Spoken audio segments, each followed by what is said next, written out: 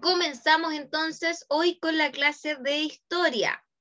Voy a compartir pantalla y hoy día vamos a comparar paisajes americanos. Así que les voy a pedir que vayan anotando el nombre de nuestra clase que se llama Comparando Paisajes Americanos. Vamos a anotar Comparando Paisajes Americanos. Cada uno se puede cambiar el nombre en los tres puntitos o abajo donde dice renombrar, ¿ya? Por si alguno no tiene su nombre.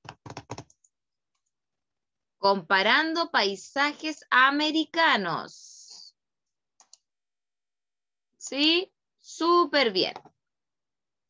Entonces, vamos con, vamos con eh, el objetivo de nuestra clase que consiste en comparar diversos paisajes americanos.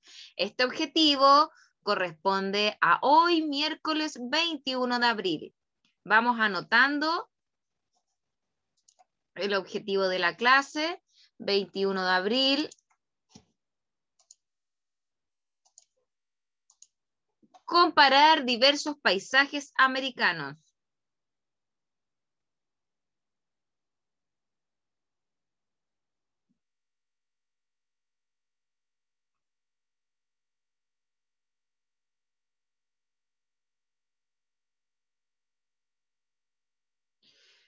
Ya.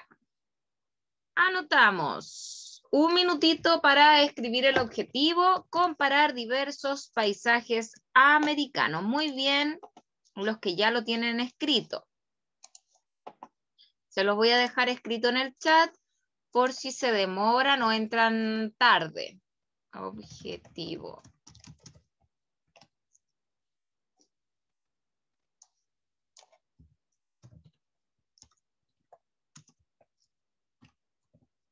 Ya, ahí les dejé el objetivo.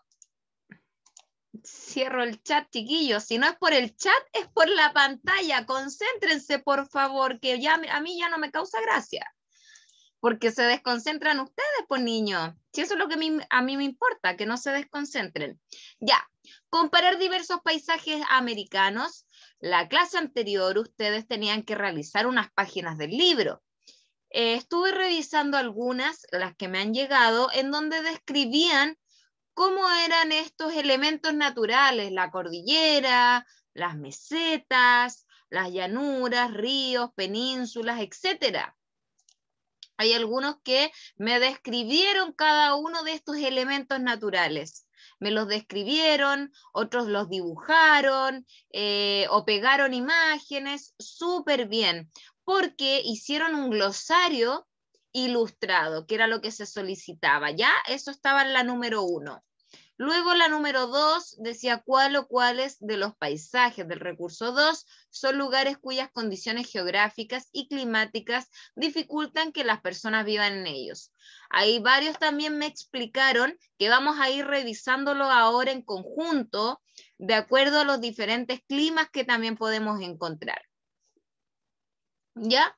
Y después ustedes, bueno, tenían que la actividad 2 eh, en grupo o de manera individual, eh, tenían que escoger un paisaje de la página 21, ¿cierto? Y había que describirlo. Seguía, salían los pasos a, seguir de lo que tenían que realizar. Y eso lo he estado eh, revisando, pero no todos me han mandado la tarea todavía, así que les voy a pedir que nos atrasen con la tarea de historia para poder revisarla. Vamos a seguir entonces. Entonces, describir paisajes es nuestro, nuestro primer tema y debemos decir que al observar un paisaje, donde quiera que estén ustedes, al observar un paisaje podemos obtener mucha información solo de manera visual al momento de mirar un paisaje podemos recibir demasiada información respecto a las características que tiene un lugar, ¿ya? Eh, de acuerdo a las personas que lo habitan, de acuerdo a, la cantidad de, de arbustos quizás que tiene ese paisaje, de vegetación o los mismos animales que puedan tener los recursos naturales con los que cuenta, eh, la, la, gente que habita ese paisaje o ese lugar, ¿ya? Es importante que ustedes consideren que esto también va a depender del clima. De acuerdo al clima que hay, de acuerdo a la, a la presencia o ausencia de vegetación, al relieve, a los ríos o a los elementos que tenga este paisaje va a ser cómo van a vivir estos seres humanos o van a vivir estos animales, ¿ya? Todo va a depender, el paisaje va a depender de todo el entorno, de todo lo que lo rodea, de la vegetación, del relieve, de los animales, de, em, de todo lo que hay en ese lugar. Entonces, ya sabemos más o menos cómo podemos describir un paisaje, ¿cierto? Al observar un paisaje, este tiene mucha información, tiene muchas características y va a depender de lo que podamos observar. Miren acá. Miren el paisaje que les estoy presentando. Miren este paisaje. Solo observen. Este paisaje corresponde a un lugar que se llama, que se encuentra en Brasil, ¿ya? Por lo que sabemos que Brasil se encuentra en América del Sur, ¿verdad? Eh, a modo general, chicos, corresponde a una playa en la que también se observa una ciudad y también podemos ver abundante vegetación. Si nosotros miramos la montaña, el, cerro, hay abundante vegetación, ¿verdad? Este, este paisaje que está acá, que corresponde a Brasil, a una parte de Brasil, a una localidad de Brasil, eh, podemos observar que tiene abundante vegetación y además de aparecer una ciudad ahí, hay una playa. ¿cierto? Lo que podemos ver acá en el costado derecho de la pantalla abajo, vemos una playa. Entonces acá tenemos un paisaje. Luego, luego, quiero mostrarles qué características tiene la población de América. Una de las características importantes de la población de América es que poseemos diferentes lenguas. Lenguaje es un lenguaje diferente. Acá en la pantalla aparece un mapa, ¿ya? Aparece un mapa en donde está señalado con distintos puntitos de colores. Cuando observamos el puntito amarillo, que es como medio mostaza, en verdad, eh, hacemos referencia a los países que hablan inglés, según la simbología que, está abajo a la izquierda. Eh, la parte que tiene un amarillito más clarito, un amarillito más clarito, eh, son las personas o la población que habla español. Y Chile habla español, ¿cierto? México, como aparece ahí, también hablan español. Colombia, Venezuela, Bolivia, Paraguay, Argentina, Uruguay, Perú, Ecuador, eh, hablan español. En Estados Unidos, como podemos apreciar la simbología, Estados Unidos, Canadá, Alaska, hablan inglés, pero también hay una parte de Estados Unidos que habla español. También podemos observar un verde, que hay una parte de, América que también habla francés. ¿Ya? Si podemos observar acá, esta parte, hablan francés y también hay unos, unos que hablan español, de acuerdo a la simbología que les estoy mostrando. Aquí abajo tenemos también, dentro de la simbología, una especie de lila. Y el lila habla portugués, que está acá justo en la parte de Brasil. ¿Ya? Si es que pueden observar el mapa que les estoy presentando, hay una en Brasil se habla portugués. Y también En, Brasil también hay una parte que habla otras lenguas que está señalado con rojito. La última simbología que aparece con rojo, que está señalando una parte de Ecuador, una parte de México, una parte de Brasil, otra en Perú, Bolivia, Paraguay, Chile, eh, habla otras lenguas. Y cuando nos referimos a otras lenguas, eh, puede ser eh, las personas, por ejemplo, acá en Chile, eh, se ve el extremo sur, en el sur-sur de Chile hablan otras lenguas y ellos hablan mapuche. ¿Sabían ustedes eso o no?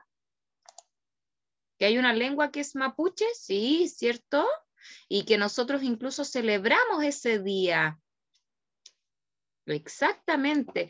Y así como acá en Perú, en Perú también tienen otra lengua los peruanos también hablan español, la mayoría de los peruanos, pero ellos también tienen su lengua.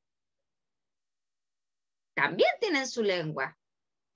En Bolivia pasa lo mismo. Tú puedes conversar con una persona que es de Bolivia y él habla español. Pero así, como hablan español, hay varios también que hablan su lengua, ya su, su lengua nativa.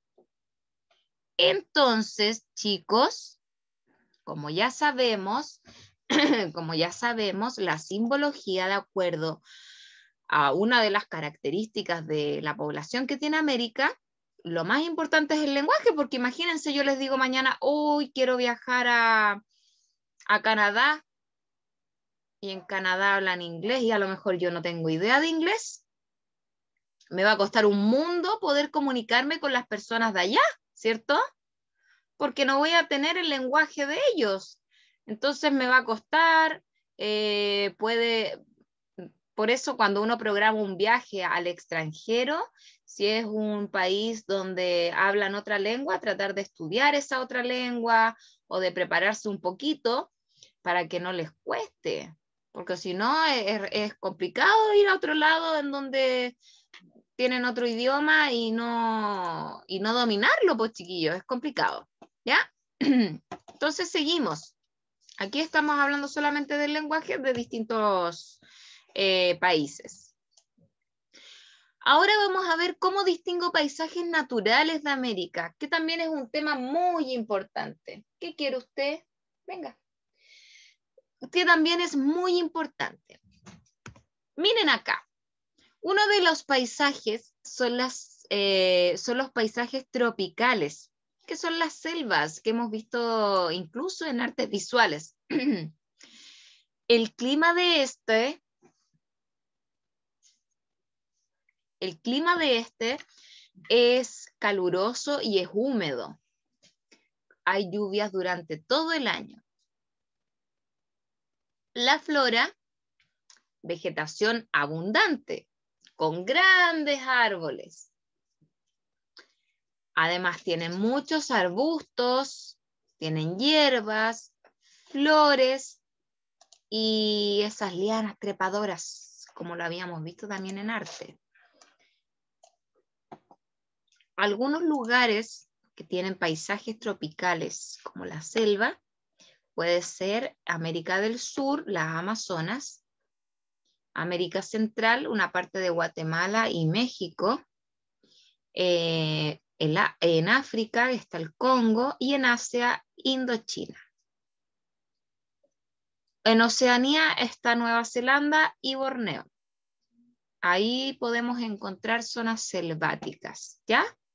Y estas son las características de una zona selvática, que es caluroso el clima, es húmedo, hay lluvia durante todo el día, todo el año, perdón, la vegetación es abundante, hay grandes árboles, arbustos, hierbas, flores, ¿cierto? Tal como podemos observar en la imagen. Otro tipo de paisajes son los tropicales, como las sabanas. El clima en este tipo de paisajes es muy caluroso durante todo el año. Ian, concéntrate. ¿Ya? El clima es muy caluroso durante todo el año. Aunque en la noche la temperatura suele bajar un poco. Tiene una, una estación seca prolongada, dura harto, y otra lluviosa corta e intensa. Eso quiere decir que durante casi todo el año es muy seco y cuando llueve, llueve, eh, por ejemplo, si va a llover mañana, llueve solamente mañana, pero llueve mucho, es intenso, es harta la lluvia, pero es, en, es corto, ¿ya? En un periodo corto. La flora formada por hierbas, arbustos y árboles aislados. Algunos lugares que podemos encontrar paisajes tropicales como sabana es África, eh, América del Sur, en los llanos de Venezuela, en Asia, que está en la India, y Oceanía. ¿Ya? Ahí tenemos entonces, ya hemos visto el paisaje tropical, la selva, y hemos visto el paisaje tropical sabana. Ahora vamos a ver cómo son los paisajes secos, desierto. El clima en el desierto casi no llueve, por lo tanto el paisaje es muy seco. Existen grandes diferencias de temperatura entre el día y la noche. En el día hace mucho calor y en la noche ya empiezan a descender las temperaturas. La flora tiene escasa vegetación, poca vegetación y también escasez de agua. ¿Ya? Algunos lugares que podemos encontrar como desierto es en África, el desierto de Sahara, en América del Sur, el desierto de Atacama, en América del Norte, Arizona, y en Asia, Gobi. ¿Ya?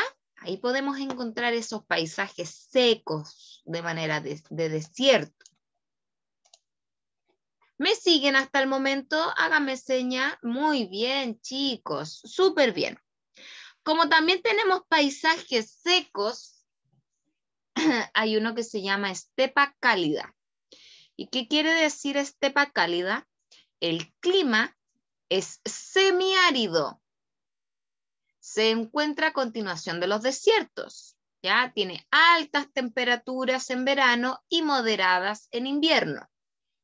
Las lluvias que hay en este tipo de paisajes son escasas, hay poquitas, y se concentran en invierno. La flora, la vegetación de tipo arbustiva, es decir, que hay mucho arbusto, esos que son frondosos, ¿cierto? Y podemos encontrar estos paisajes en América del Sur, que es la parte norte de Chile, en Asia Central, y en América del Norte y sur de África y en Oceanía. Ahí podemos encontrar ese tipo de paisajes. Acá está el, paisaje que les estaba nombrando, el estepa cálida. Así es. Por eso les dije que en el norte de nuestro país podíamos encontrarlo. También tenemos el paisaje de las zonas templadas y frías. La mayor parte del territorio habitado de Chile se ubica en zona templada. Esto quiere decir, ¿ya? Que en las zonas templadas, ubicadas entre los trópicos y los círculos polares, habita la mayor parte de los seres humanos. Y al igual que en la zona cálida, existen distintos paisajes.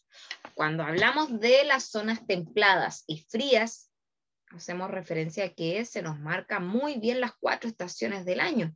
Podemos identificarlas muy bien. Y en esta zona habita gran parte de los seres humanos. También tenemos otro tipo de paisaje, que es el paisaje mediterráneo de clima templado.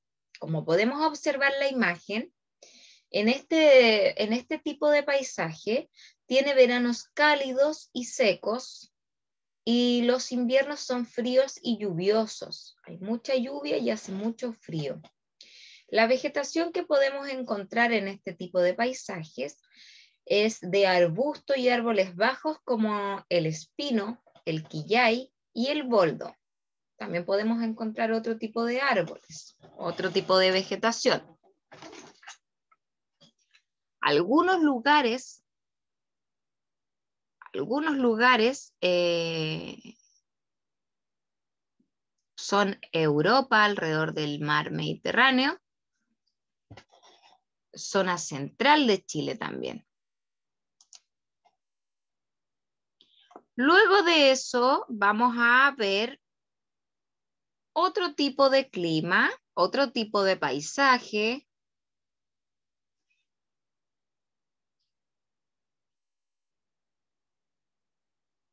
Que vamos a ver a continuación.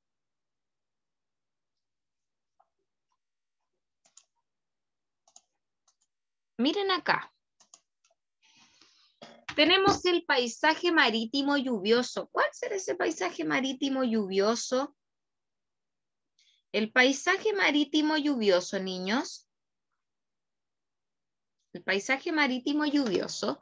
Su clima, muy influenciado por la cercanía al océano, eh, tiene temperaturas moderadas en verano y frías en invierno. ¿Ya? Aunque con más intensidad en el invierno. La flora es una vegetación siempre verde. Hay especies como el canelo, alerce y luma, helechos y musgos. Este tipo de paisaje también lo podemos encontrar en América del Sur, en el sur de Chile y Argentina, en América del Norte, en Europa. ¿Ya? ¿Me van siguiendo con los distintos tipos de paisaje, niños? ¿Sí? Súper bien, muy bien. Esa es la idea, que me vayan siguiendo con los paisajes. Seguimos entonces. También tenemos otro tipo de paisaje que se llama paisaje de alta montaña. Y el nombre nos hace referencia a que si estamos en la montaña hace mucho frío. Cuando uno va a la montaña o va al cajón del Maipo, donde hay altura, eh, ahí empieza a bajar la temperatura. Empieza a bajar la temperatura. Entonces, entonces el clima posee bajas temperaturas y abundantes precipitaciones. Suelen ser en forma de nieve. Cuando uno va a Farellones, puede encontrarse con nieve. La vegetación es escasa, hay poca vegetación, porque predomina la nieve, ¿ya? Es decir, hay más nieve que vegetación. Además, varía de una montaña a otra, ya que depende de la altitud y el lado de la montaña en que se encuentre. Nosotros acá cuando observamos la cordillera de los Andes, eh, ahora que estamos observándola, podemos ver que hay nieve casi en las, en las puntitas, ¿cierto? Arriba.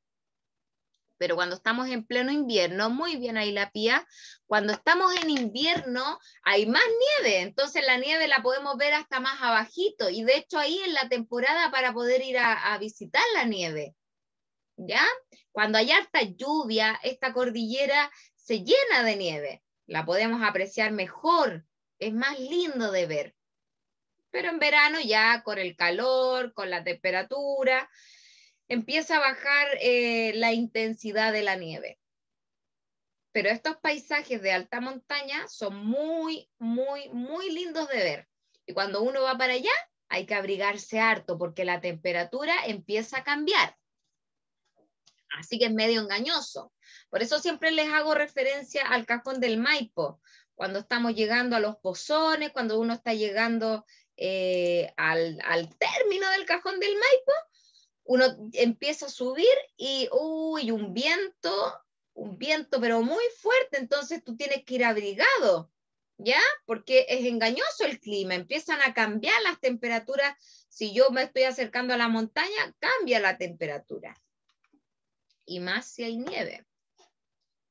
¿Me van siguiendo, chiquillos? Sí, súper bien. Sigo. Este clima es, este paisaje es uno de los más lindos. El paisaje polar es hermoso, pero pucha, que hace frío, oye, un frío pero terrible. El clima tiene bajas temperaturas y escasa precipitación, ¿ya? Hay poca precipitación, pero cuando hay precipitaciones es en forma de nieve.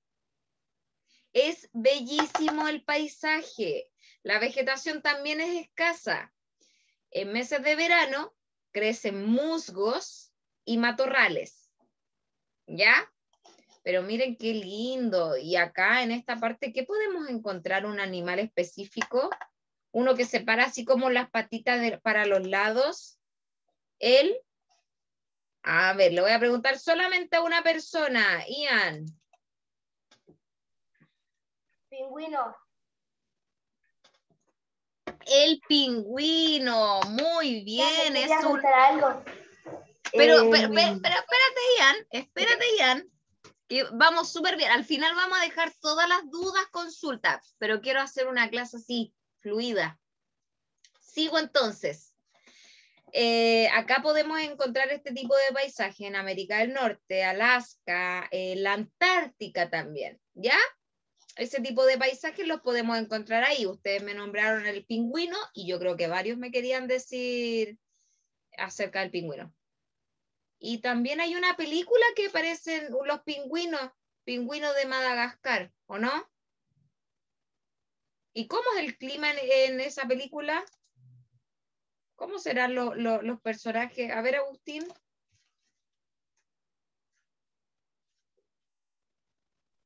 Tía, Dígame. yo fui al volcán de Osorno y cada vez más alto hacía más frío. Cada vez más alto hace más frío. Sí, Agustín. Muy bien. Era lo que estaba explicando la tía, ¿cierto? Cada vez que nos acercamos más a una montaña, a un cerro, eh, encontramos bajas las temperaturas. Vamos a seguir entonces. Miren acá. Esta parte también es muy, muy linda. Una de mis favoritas. La zona austral, chiquillos, se extiende. Eh, podemos encontrar el clima marítimo lluvioso, también podemos encontrar el clima frío y podemos encontrar el clima polar. Cada uno de estos climas tiene su característica, su principal característica eh, que los diferencia uno de otro. El clima marítimo lluvioso presenta abundantes precipitaciones, es decir, que hay mucha lluvia. Cuando hacemos referencia al clima frío, este presenta una amplia variación térmica anual y precipitaciones en forma de nieve. Esto se ubica en la, en la Patagonia.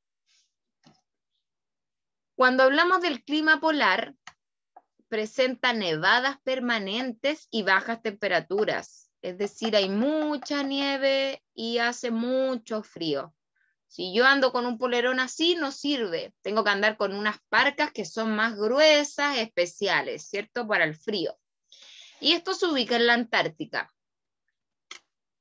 Cuando yo les nombro, cuando yo les nombro cada uno de estos paisajes con sus distintos tipos de clima, con los distintos tipos de vegetación, con los distintos tipos de, eh, de características que tienen estos climas, es porque la gente que habita esos lugares debe estar preparada para esos climas. Si yo me voy a vivir al norte, em, con puros abrigos, voy a tener demasiado calor, porque sabemos que el norte es una ciudad con mucho calor. Hay poca lluvia, muy escasa la lluvia. O es como que yo me fuera a vivir a la Antártica con choripolera. Sería absurdo, ¿cierto? Cada uno de los habitantes, cada una de las personas que habita un lugar está ah, preparada para el lugar donde está habitando y se prepara con la vestimenta también. Es importante. Es importante que se preparen con la vestimenta también. Miren acá, ¿cómo es el ser humano, que es lo que les estaba hablando recién? ¿Cómo es el ser humano que se adapta y se transforma en el entorno geográfico? Todos los seres humanos han logrado habitar casi todas las zonas del planeta, incluso aquellas con las temperaturas extremas y otras que dificultan la vida. Las personas no solo se han adaptado a las condiciones del paisaje, sino que han transformado su entorno para poder satisfacer sus necesidades y así poder vivir en sociedad. Si yo les recuerdo una parte que estuvimos trabajando de los romanos y de los griegos cuando estábamos haciendo el reforzamiento, muchos de ellos, ¿cómo podían satisfacer sus necesidades o cómo podían sobrevivir? Vivir? ellos hacían trueques, ¿cierto? Se dedicaban a la agricultura y, ellos iban intercambiando cosas para poder em, vivir, ¿cierto? Entonces, em, se adaptaban de acuerdo a las necesidades que tiene cada pueblo también es importante, porque por ejemplo acá en Chile tenemos muchos pueblos muchos pueblos, unos que son ni siquiera conocidos por nombre, imagínense, y que viven a lo mejor 50 personas. Entonces, cada uno de los pueblos tiene su costumbre, tiene su manera de, vestir, eh, sus creencias. Son todos los pueblos diferentes. Y ellos los van transformando de acuerdo a las necesidades que tienen y de acuerdo a la, gente que vive ahí, para poder llevarse también bien con esas personas, que es lo importante. Entonces, hasta el momento, ¿cómo vamos, chiquititos? Quiero que me digan si vamos bien o mal. Ya, después vamos a hacer los comentarios. La tía les va a explicar la actividad. Voy a dejar de compartir pantalla y vamos a comentar todo, ¿ya? Dame un segundito, Agustín. Lo que tenemos que hacer es ir a la página 29 del libro. ¿Tienen el libro ahí? Los que tengan el libro ahí se van a la página 29. Vayan a la página 29. Los que tengan el libro ahí, para que vayan viendo más o menos de qué se trata. Y ustedes van a tener que trabajar en el libro del estudiante, página 29, eh, los recursos 1, 2 y 3. Yo les pegué aquí la parte que tienen que realizar. ¿Qué desafíos tienen las personas que viven en estos paisajes? Ahí hay un paisaje de Perú, si no me equivoco, eh, donde están las islas del Sol, la isla de la Luna. Aparecen distintos paisajes. Y ustedes tienen que poner qué desafíos tienen eh, las personas que viven en esos paisajes. Luego, cómo se adaptaron, selecciona un desafío y explica cómo lo resolvieron y tienes la necesidad de adaptarte al ambiente natural en el lugar donde vives, por qué y cómo lo haces. Están en la página 29. Ya. ¿Qué me va a nombrar el paisaje que aparece ahí? Aparecen varios, aparecen varios, y arriba una winchita o, un cuadrito donde dice a qué lugar corresponde, de dónde es. Cuénteme, ¿qué me va a decir a qué paisaje corresponde uno? A ver, Agustín. El uno de norte de Chile. Del norte de Chile. ¿Y sale el nombre? o solamente dice norte de Chile?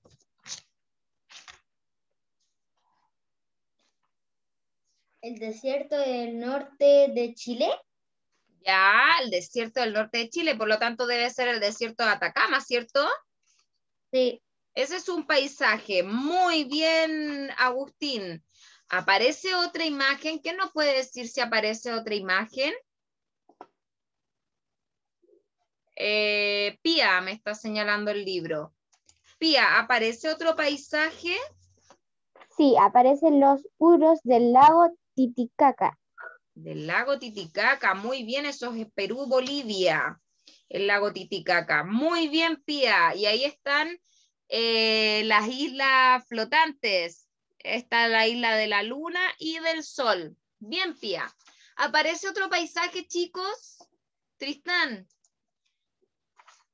Profe, eh, no de un paisaje, pero es del desierto de Atacama. Es el, dicen que el segundo o el primer, el primer lugar a donde se hacen los laboratorios del espacio, en tierra. ¿En serio, Tristán? Voy a averiguar eso. Y ahí lo comentamos bien, ¿ya? ¿Aparece otro paisaje, chiquillos? Tiare. Sí, sale los molinos del viento en el campo de Estados Unidos. Los molinos del viento. Muy bien, Tiare. Súper bien.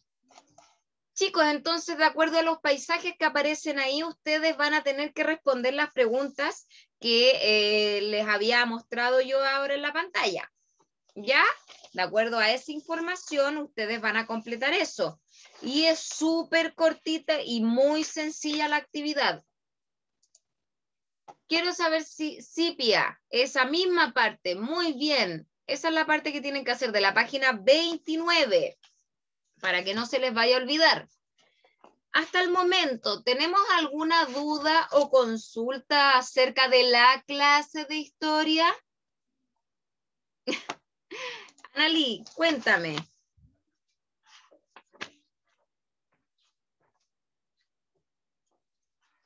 ¿Está habilitado su micrófono? Profe. Dígame.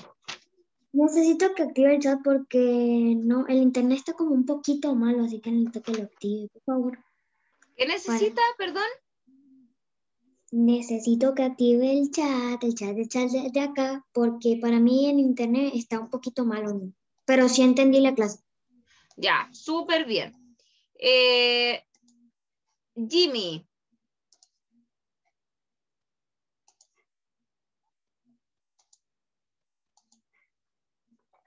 ¿Qué pasó, Jimmy?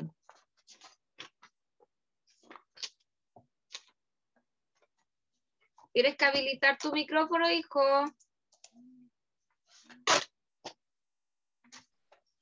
Eh, que le quiero decir sobre la, la del página 21, 22, 23. Dime, Jimmy, pero tienes que hablarme fuerte, acuérdate, porque si no, no escucho.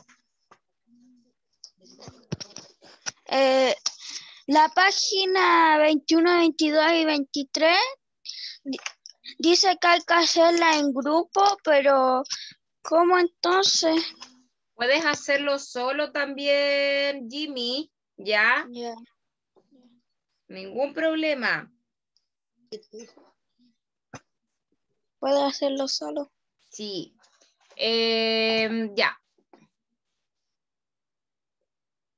Leonardo, ¿qué pregunta tienes?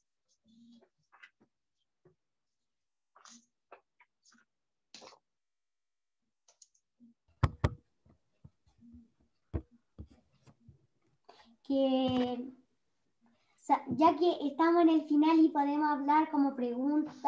Y preguntas de la clase, preguntas de la clase. Sí, que quería preguntarle que si el cuando fue el fin de semana antes del lunes de esta semana, ¿cómo la pasó? Fin de semana antes del lunes. De esta semana. Ah, eh, trabajando, pues, hijo. Ah, pensé que la iba a pasar bien. No, he tenido que trabajar mucho porque entre, entre las clases. Un besito les mando. Cuídense mucho y nos vemos mañana si Dios quiere. Cuídense, que estén muy bien. Chao, chao.